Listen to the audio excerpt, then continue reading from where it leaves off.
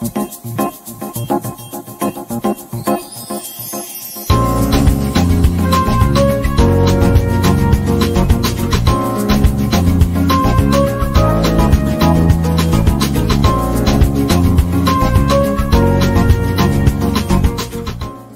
జీవితంలో అందరికీ అవసరమైనది వాహనం.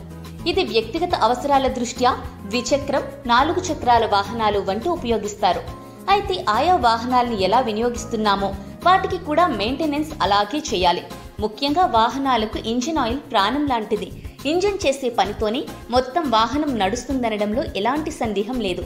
అలాంటి ఇంజిన్ ఆయిల్ మార్పు కోసం చాలా మంది గంట సమయం కేటాయిస్తూ ఉంటారు. కానీ విశాఖలో మాత్రం ఇంజిన్ ఆయిల్ మార్చడం నిమిషాల్లో పట్టే పని. ఇంజిన్ ఆయిల్ వినియోగం వాహనాలకు తప్పనిసరి.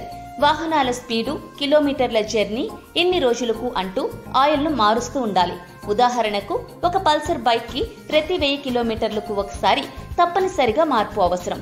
అలాగే కారుకు కూడా పదివేల కిలోమీటర్లకు ఒకసారి ఆయా వాహనాల పరిస్థితి బట్టి ఆయిల్ మార్పు తప్పనిసరి.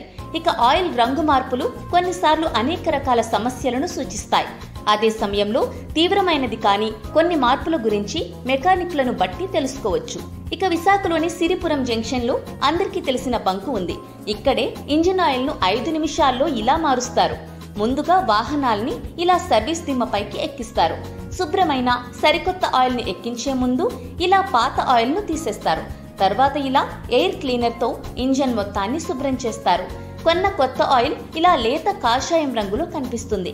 కానీ ముదురు మురికి మందమైన ఇంజన్ నూనెలు చమురు మార్పుకు సంకేతాలు. ఇది ఇంజన్ ఆయిల్ మార్చే వ్యక్తి మీకు చూపిస్తారు. ఆయిల్ రంగు మారడం అనేది అంతర్గత బాహ్య కారకాల కారణంగా చమురు రసాయన శాస్త్రాన్ని మార్చడం వల్ల సంభవిస్తుందని గమనించాలి.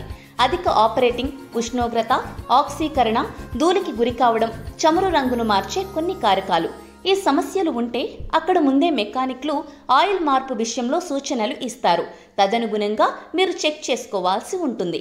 ముఖ్యంగా ఆయిల్ కాలక్రమేణా నల్లబడుతుందని మనం తెలుసుకోవాలి. అధిక ఉష్ణోగ్రతలు వేగంగా ఆక్సీకరణం చెందుతాయి. అనివార్యంగా ఇది ఆయిల్ లైఫ్ టైంను తగ్గిస్తుంది. ఇక కారుకు సంబంధించి కూడా ఇదే పద్ధతి ఉంటుంది. అయితే దానికి వేరే సర్వీస్ మెకానిక్స్ అందుబాటులో ఉంటారు.